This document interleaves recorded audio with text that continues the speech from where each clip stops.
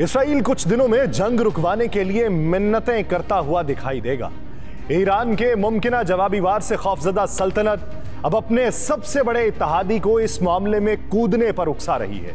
वो जो कहते थे कि ईरान ने इसराइल पर हमला किया तो इसराइल का बड़ा नुकसान क्यों ना कर पाया, वो इसराइल के ईरान पर होने वाले हमलों को आसानी से रोक लिए जाने पर अंगुश्त बदंदा बैठे हैं। एक तरफ़ वो हैं जिनके हमरा सारी तागूती ताकतें हैं, और दूसरी जानब वो हैं जिनको अपने मुल्क के अलावा मुसलमानों की ताकत तक दस्तयाब नहीं।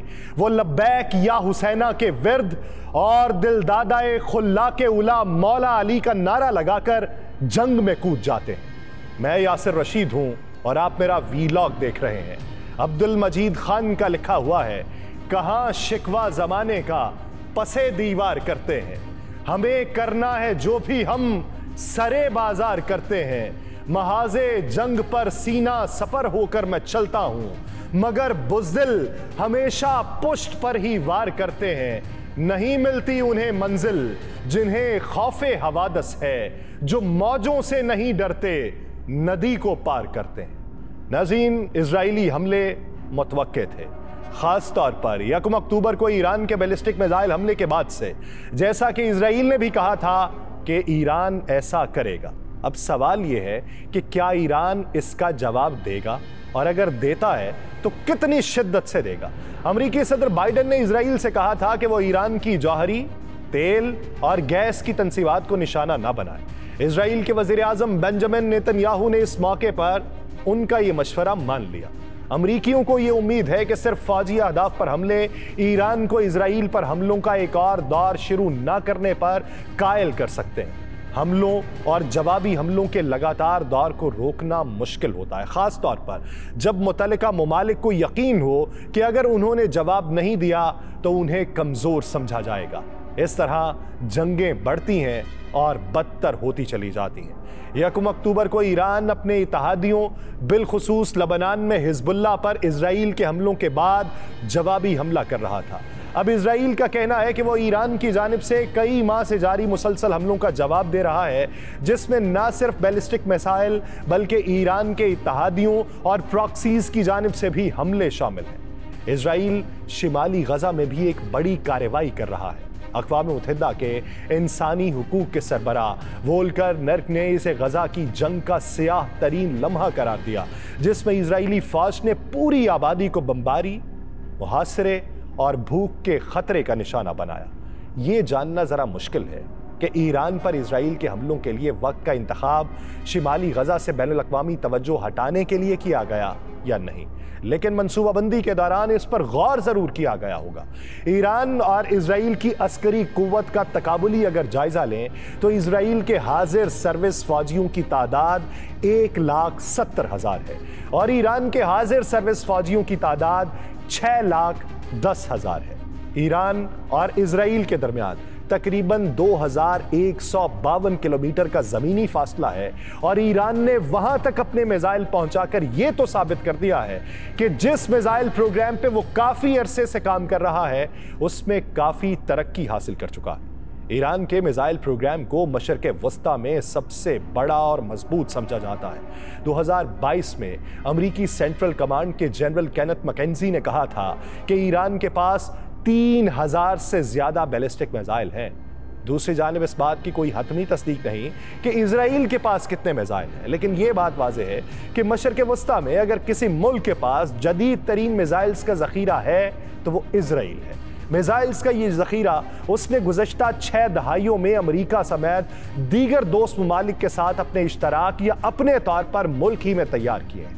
C S I S missile defence project की एक रिपोर्ट के मुताबिक, इसराइल कई ममालिक को मिज़ाइल बरामद भी करता है। इसराइल के मशहूर मिज़ाइल्स में Delilah, Gabriel, Harpoon, Jericho one, Jericho two, Jericho three, LORA और पोपाई शामिल है।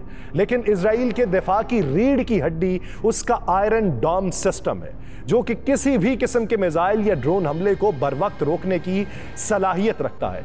गजा से हमास और लबनान से हिजबुल्ला के रॉकेट्स को मुतवातर फजा में ही तबाह करके वो आज तक अपना लोहा मनवाता रहा है। लेकिन बेशुमार औकात में ऐसा हुआ कि उसका वो सिस्टम सारे मिसाइल्स को रोकने में नाकाम रहा।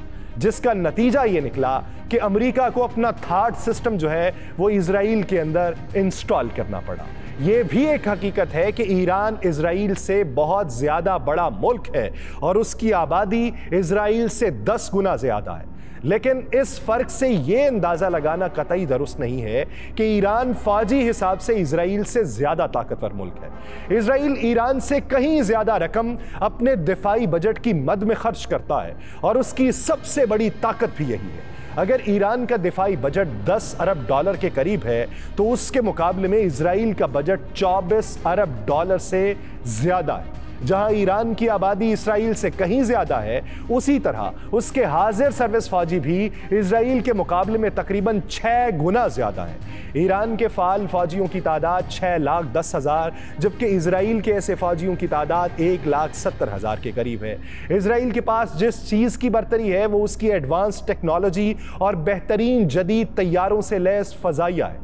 उसके पास 241 लड़ाका तैयारे और 48 तेज़ी से हमला करने वाले हेलीकॉप्टर हैं, जबकि ईरान के पास जंगी तैयारों की तादाद एक सौ छियासी है और उसके बेड़े में सिर्फ़ तेरह जंगी हेलीकॉप्टर है। वजह क्या? इसराइल को तागूती ताकतों की हिमायत और उनकी तरफ़ से पैसा भी इन्वेस्ट किया जाता है। अमेरिका के साथ उसका दिफाई माहिदा मौजूद है और इसराइल के ऊपर अगर कोई हमला करेगा तो अमेरिका को अगर उसकी मर्ज़ी शामिल हुई या ना हुई मदद ज़रूर करना पड़ेगी। ईरान की हिमायत कौन करेगा? ईरान की मदद कौन करेगा? वो खुद ही है। दोनों ममालिक ने अभी तक अपनी बहरी अफवाज की ज़्यादा सलाहियतों का मुजाहरा तो नहीं किया, लेकिन अगरचे वो जदीद बुनियादों पर ना भी हों, फिर भी ईरान की बहरी फौज के पास एक सौ एक जहाज़, जबकि इसराइल के पास सड़सठ जहाज़ है। ईरान ने इराक के साथ जंग के बाद से अपने मिज़ाइल सिस्टम और ड्रोन्स के ऊपर ज़्यादा काम किया है। और शॉर्ट और लॉन्ग रेंज मिसाइल और ड्रोन्स बनाए हैं जो मुबैना तौर पर उसने मशरक वस्ती में अपने हरीफों को भी मुहैया किए हैं। जिसमें हिजबुल्ला शामिल है, जिसमें हमास शामिल है और जिसमें यमनी हौसी शामिल है।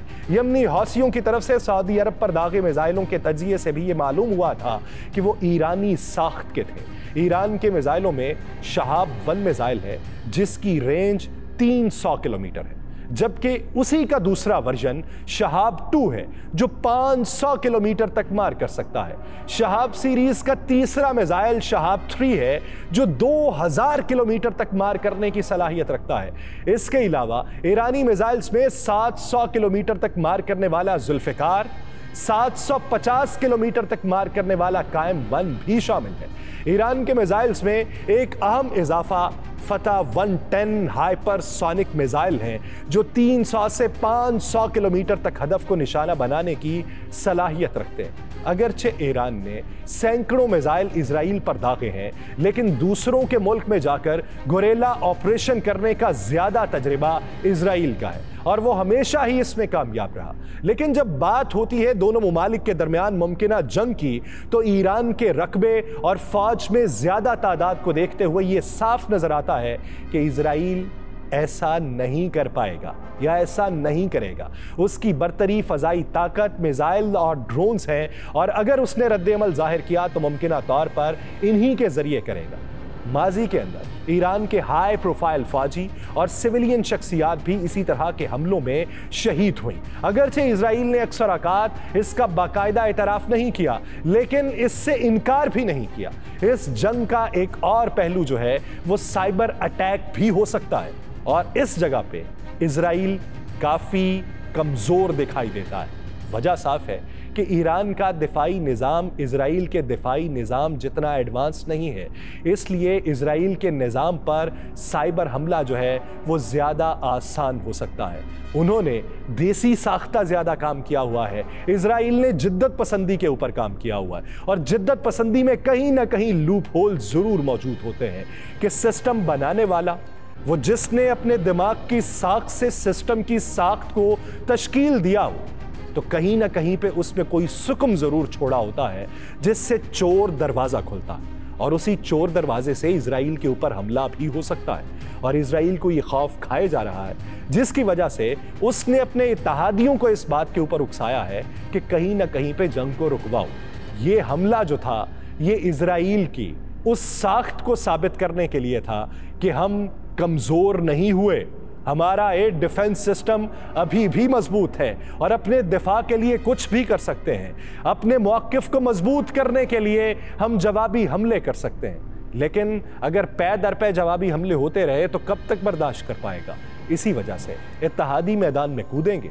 देखिए कि इतिहादियों के मैदान में कूदने का नतीजा क्या निकलता।